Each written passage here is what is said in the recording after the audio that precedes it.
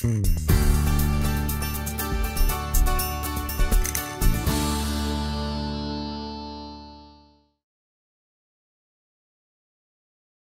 Hi, everyone. I'm Courtney Lawhn Heath. I'm a radiologist and nuclear medicine physician at UCSF. So, we do a lot of radiopharmaceutical therapy, including PRRT, at UCSF, and I'm very excited about what the future holds in this space. So, that's what I'm going to talk to you about today. I have no disclosures. Now, first, I want to make sure that we're all kind of up to date on the current state of PRRT. Where are we now in clinical practice? Before then going on to discuss all the sort of exciting future developments that are happening. So just to bring us all up to speed, now we probably all know that well-differentiated neuroendocrine tumor cells have a lot of these somatostatin receptors on their surface, right? And of course, we take advantage of this in first-line therapy for this disease using somatostatin analogs like octreotide. And these things like octreotide bind to the somatostatin receptor. This triggers a whole bunch of different events that sort of inhibit growth of the tumor cell, uh, but one other thing that happens is that binding of this SSA to the receptor actually causes that cell to internalize the whole complex, to sort of eat the complex. And so that over time, you actually get this accumulation of SSA inside the tumor cell. Now, that's something we can take advantage of with PRRT. I call it the Trojan horse strategy, where we use radioactive octreotide instead of plain octreotide which to the unsuspecting, you know, tumor cell looks just like regular octreotide, so it binds to the receptor in the same way, and the unsuspecting cell internalizes it in the same way. The only difference being, of course, it's radioactive, right? And so as more and more build up inside the tumor cell, the damage being done in the tumor cell starts to build up, including free radicals uh, that leads to DNA damage and uh, hopefully eventually tumor cell death. Now, the molecule that we use for PRRT currently, the actual molecule, has a few different like puzzle pieces that compose it. And each of these pieces can be sort of swapped out and tweaked. And that's what we're going to hear about for the future directions section. But as far as what we use now, the combination of puzzle pieces, we have a somatostatin analog, uh, and that's actually the part that's called TATE. We have DOTA, which is something called a chelator. Uh, but the way I like to think of it is basically to me, this structure looks kind of like a bird's nest. And then the last puzzle piece is the egg inside the bird's nest, which is the little radioactive atom, in this case, lutetium 177.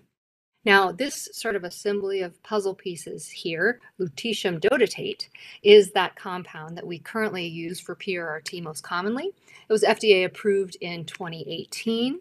And it was largely on the basis of this landmark 2016 NETTER-1 trial, which you may have heard about, which essentially pitted regular SSA against PRRT and found that PRRT patients overall had a 79% lower risk of disease progression or death compared to the regular SSA group. Also, PRRT improved several really important quality of life factors like physical functioning and the frequency of diarrhea. Well, so that study started in 2016, they updated it in 2018, but they've continued to follow the patients a number of years out. So actually last year, the final overall survival analysis came out. And because this was a big important trial, everybody in the field was waiting really anxiously for that result. So I wanted to update you on it too. It showed that the median overall survival of the PRRT group was four years compared to three years for the control group. But when they ran a statistical analysis, they found out actually this difference didn't turn out to be statistically significant. Uh, but it does turn out there was a really big confounder that messed up the data a lot here, and that is that 36% of patients, over a third of patients in the control arm that weren't supposed to get PRRT actually did end up getting PRRT after all when they progressed, but they were still counted as being in the control group. So th- this definitely, you know, underestimated the efficacy of PRRT as a result. So that's a limitation. So for now, lutetium dotatate definitely remains the champion in the PRRT space, but there are some challengers and some stiff competition. And alpha PRRT is going to be one of those, which we'll talk about in just a minute. But so now that we're on the same page kind of about PRRT currently, let's talk about a few ways that we can make it better. And perhaps the most obvious way is to take our what we already have, our current PRRT agent, and just simply try to improve it in a couple of different ways. You know, we're starting to use PRRT in settings that we wouldn't have used it in before. So just expanding the use of it. For instance, surgically resectable disease. Now, it didn't used to be that you would say the words surgery and PRRT in the same breath, uh, but now it's actually starting to be used in the pre surgical setting to potentially shrink tumors enough to turn them from unresectable to resectable. So people, patients who couldn't get surgery might be able to get surgery. It was 26% of the patients in this study that saw that happen. So it was the minority, but still worth a shot. PRT is also being looked at in higher grade disease. That landmark Netter 1 trial limited patients to only a grade 1 or grade 2 net and a Ki67 of under 20%. But there are a couple of more recent studies that are actually including grade 3s that are getting PRRT and also Ki67s up to 55%, so expanding uh, the usefulness potentially here. And lastly, the use is expanding outside of gastroenteropancreatic neuroendocrine tumors. And frankly, starting to really get used in just about any disease, you name it. If it's avid, if it's hot on dotatate PET, uh, then it's potentially able to be treated with PRRT. And that includes this rare malignant paraganglioma disease where PRRT has been found to achieve disease control in about two thirds of patients uh, and in bronchial neuroendocrine, which is in the lungs. And that's uh, there's actually an open and ongoing multi-center clinical trial in that space right now. Now, another change we can make to our existing therapy is we can use something called dosimetry. If you haven't heard of this term, dosimetry, uh, you, this probably won't be the last you'll hear of it. I'm going to explain what it is in just a second, but just to kind of contextualize why I'm talking about it, let's just recall currently how PRRT works, right? How it's dosed. Currently, all patients get the same administered activity, no matter how much they weigh, how hot their disease is on dotatate PET, how fast they metabolize it, whether they have a lot of disease or a little disease, whether it looks like this or this or this or this. And unlike with chemo, PRRT, we can actually trace exactly, we don't have to just administer it and, and cross our fingers. We can trace exactly where and how much radiopharmaceutical went where in the body in each person. And we can measure the resulting radiation dose that was delivered to each tumor and to organs that are at risk, like maybe the kidneys. And this act of measuring radiation dose, that's what we call dosimetry. And it turns out that radiation dose that's delivered to tumors and to background organs like kidneys varies hugely from one patient to the next. And it's not actually something that's predictable by other factors. You can't just look at a person or look at their blood work or anything and, and, and determine ahead of time uh, what the dose is going to be like. You need imaging uh, to, to do this dosimetry. And so, anyway, this indicated to us there's probably room for greater personalization than just sort of this one size fits all, same dose for everyone kind of approach. So here's an example of a study called Personalized PRRT, or PPRRT, where 36 patients got personalized PRRT based on results of dosimetry. But they actually then did a simulation where they back calculated, well, what would the doses, the radiation doses to the tumors and stuff, how much radiation would they have gotten if we had just done this like one size fits all regular approach? And what they found was that patients' tumors using the personalized dosimetry approach received almost 1.5 times higher radiation doses compared to when personalized dosimetry was not used. So this shows we're probably actually currently underdosing a lot of patients. And who knows, we may even be overdosing some other patients because we're just not measuring it. So instead of that, in the future, we want to use post treatment imaging to make sure that we're delivering the right amount of radiation to suit each different person's disease and each different person's unique kind of metabolism and everything. In other words, we actually image the PRRT that was given to a patient. You can actually image it after the fact and calculate how much dose went where in the body. And we would then use this information to determine either how much activity a patient should get next time or how many total cycles uh, you should do until they're optimally treated. And in fact, this was tried in Europe in a study of 200 patients who just, they just kept giving them fixed cycles of PRT over and over again with dosimetry though, so they knew when to stop, until they maxed out what, what they thought to be a safe radiation dose to their kidneys. It turns out some patients actually could only safely receive three cycles of PRRT. But some patients were able to safely get as many as nine cycles of PRRT, which of course is way beyond the four that we typically allow. And again, there was no other way that this was predictable based on anything else other than just using dosimetry. Ultimately, though, We need randomized trials in order to confirm this and to determine whether this has any actual impact on uh, important things like survival. Now, the next thing we can do with, again, our existing PRRT molecules, we can try to improve kind of where it goes and how long it kind of sticks around in the body.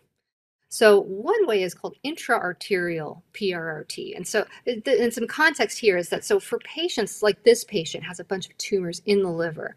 For patients like this where it's mostly in the liver and no, nowhere else, it seems almost like overkill, frankly, to give PRRT, right? Because that, that exposes the whole body to radiation when really almost all the disease is just in one organ, right? So if we were able to just give PRRT to the liver instead of the whole body, you know, would it treat those liver tumors better and would there be less uh, toxicity to the rest of the body? So we tried this at UCSF actually with 10 people, a pilot study. We told our interventional radiology colleagues, hey, stop doing embolizations for just a second. And can you instead try giving PRRT into that main blood vessel that directly feeds the liver? In other words, intraarterial and in patients with a lot of liver disease compared to IV, which is where we give it to the whole body, the intraarterial administration resulted in a lot more uptake in the tumors, as you can see from on the right, the sort of darker appearance of those tumors. Um, but strangely, this didn't actually hold up in every single patient, especially patients with less disease in the liver. In fact, this patient, we actually saw the opposite. The tumors didn't light up as much. Now, we have some possible sort of explanations maybe as to why this happened, and we have some ideas for maybe a way to regroup and, and try again going forward. But for now, uh, we're sticking with the IV whole body route uh, for that reason. Now, another thing people have tried to do is to take that PRRT dotatate molecule and modify it so it doesn't get flushed out of the body so fast. You know, the kidneys flush out any of that uh, radiation that doesn't go to the tumors uh, into the urine. It makes really expensive urine. And the rationale here of making it stick around longer in the bloodstream is well, hey, if it's sticking around longer, maybe there's more around that will go to the tumors instead of just going out into making that expensive urine. So to do this, they took the regular dotatate molecule, this is that same kind of puzzle piece molecule that I showed you before, and they literally just stuck another big old puzzle piece on it called Evans Blue, which just happens to bind to a substance in the bloodstream called albumin. The specific details don't matter, but the bottom line is that this modification made it so that it didn't get taken out of the bloodstream by the kidneys so fast. It stuck around a lot longer than regular PRRT. So these are images of someone who got regular PRRT. So like I said, we can image this, right? So this is an image of the PRRT itself in the patient after they got it. The left image is three hours after getting PRRT, and the right image is uh, three days after getting PRRT. And you can see how much fainter the uptake looks on day three, right? And that's because regular PRRT, the kidneys are flushing it out full time. And so it's, it's leaving the bloodstream quickly. In contrast, using this modified molecule, this patient on the right there, they didn't wait three days, they waited seven days before reimaging, and you can see the tumors look just as bright as they did on day one. And so this confirmed the idea that, hey, if PRRT sticks around longer in the bloodstream, more of it will go to the tumors and maybe treat them for longer. But, and there's always a but, isn't there, with these? Yeah, the radiation dose to the kidneys because of this was over three times higher unfortunately, than with regular PRRT. And most importantly, the dose to the bone marrow, which is what makes all your blood cells and is really important, was over 18 times higher. So this was a sort of a deal breaker for this, or at least a big challenge to the further use of this otherwise really promising tweak to PRRT. But suffice it to say, people are thinking about these things and they're thorny problems, uh, but trying to find creative ways to optimize these therapies. Uh, but now let's move on to talk about some actual new varieties of PRRT and the ways that those new varieties kind of change the, the paradigm a little bit. And the first one is changing how uh, these agents interact with the somatostatin receptor. They still bind that same receptor, but they interact in a different way. We saw earlier how regular PRRT, there's that Trojan horse analogy where we sort of trick the tumor cell into taking up this radioactive SSA. Turns out about 75% of those molecules get internalized into the cell, and about 25% just sort of stay stuck on the outside membrane of the tumor cell. So that's regular PRRT. There's a new type of PRRT that uses somatostatin receptor antagonists, which just interacts with the receptors in a different way. And one of the sort of incidental effects of that is actually most of that antagonist PRRT doesn't go into the cell. It stays stuck out on the cell membrane. And it, that's weird, actually, because we always initially thought that the radiation had to get inside the tumor cell to really have its maximum effect. But some early clinical trial data is showing hmm, maybe that's not needed. So here's one of these uh, studies that made us think that. And again, this is using the antagonist PRRT instead of agonist, which is the regular PRRT. They gave this new antagonist PRRT to 51 patients, most of whom had actually already been through regular PRRT before. And the response rate was about a third of patients, which, if you'll recall, is higher than for regular PRRT, which is under 20%. And there were no severe toxicities of any kind. And another thing I think is kind of crazy about this particular study is that 72% of the patients in this study had such low uptake on their like pre-treatment dotatate PET scans, their uptake on the in their tumors was so low, they wouldn't have actually even qualified for regular PRRT based on that imaging. So this kind of opens up, in addition to being a new kind of compound, opens up kind of a new range of NET patients who might be able to benefit from PRRT, which is kind of cool. Now, the next difference that some new PRRT agents have is a different type of radiation. And so with this puzzle piece analogy here, we're talking about that little radioactive egg in the nest. You can just swap out that egg. So lutetium is the one that we commonly use, and that emits what's called a beta particle. Some new agents are swapping out that lutetium for an atom that emits alpha particles. So beta particles are small and fast, and they travel kind of far, but they can only do a little bit of damage.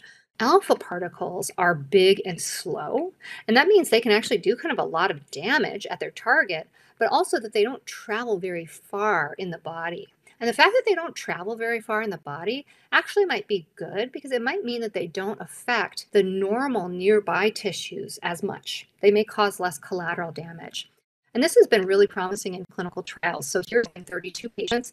All of them had already had regular beta PRRT, and over half had actually progressed while they were on PRRT. So they were basically resistant to regular PRRT. They got alpha PRRT with actinium, and well over half of them actually had a response. And again, that's compared to under 20% of patients uh, who get beta PRRT. And importantly, there were no severe toxicities, even with this increase in efficacy which is exciting. So that's why there's kind of a lot of buzz right now about alpha PRRT, maybe maybe threatening the crown uh, of regular or beta PRRT. And last, I want to explore some new treatment combinations with PRRT that are being looked at with the rationale that, hey, if two different treatments are effective individually, why can't you combine them together to see if they have an even bigger effect, right? If PRRT works well, and we know something like, let's say, everolimus works well, hey, can we put them together? Maybe it'll be, maybe they'll be even better together. So PRRT has been combined with everolimus, for example. Um, and a trial that looked at this found, as you might expect, a higher response rate with the combination than with either one alone. But unfortunately, there was also a lot more toxicity than with either one alone. In other words, a lot more kind of bad side effects than either one alone. In fact, all patients required that everolimus be stopped or dose reduced because of the significant toxicity. So that seems to be there seems to be a trade-off here by you know you go up on the on the efficacy you may also go up on toxicity with these combination therapies. PRRT has also been combined with chemo. So this control nets trial is doing this and their initial results are better response but more side effects than either treatment alone so are you sensing a theme here? This is kind of a common theme with these combination treatments. The next interesting combination, this one is a, is a pretty new one. It's PRRT with what's called a PARP inhibitor. Now, what the heck is a PARP inhibitor? Well, that is a drug that prevents a type of DNA repair. And why is that interesting? Well, remember the strategy here with PRRT, right, is you is you give it, it's radioactive, and it works by damaging tumor cell DNA with the radioactivity. If you also use a PARP inhibitor, then you're going to prevent that you've just damaged the the DNA with radioactivity, and now you're giving a drug that's going to prevent that damage from being repaired, right? And so hopefully the tumor cell will die as a result of being unable to repair the damage that the PRRT has done. And this has been super promising in preclinical studies. And there's actually a clinical trial in humans going on right now at the National Cancer Institute, and I imagine some other locations as well. So we'll see if that bears fruit in reality. So a few takeaway points here. Uh, PRRT use is expanding and improving. And personalized dosimetry may allow for treatment optimization. Somatostatin receptor antagonists are promising, although some may have more toxicity than agonists. And alpha emitters can potentially overcome beta resistance. And lastly, the combination therapies may increase the effectiveness of PRRT, although we have to be careful that it doesn't also increase the toxicity all in all, though, the future is really bright. I hope that this gives you some sense of that. There are a lot of people thinking about this, playing around with this, and, and I think that uh, we have a lot to look forward to in this space. So I would like to thank very much the, my incredible mentors, Tom Hope, Emily Bergsland, and the amazing UCSF PRRT team that's headed up by Sheila Lindsay and Rebecca Miro. Also, a special thank you to patients who enroll in clinical trials. Honestly, cancer will not be cured without patients who enroll in clinical trials. So thank you. And thank you so much to the organizers for having me and to everybody for your attention. And I hope you have a great rest of the evening. Mm.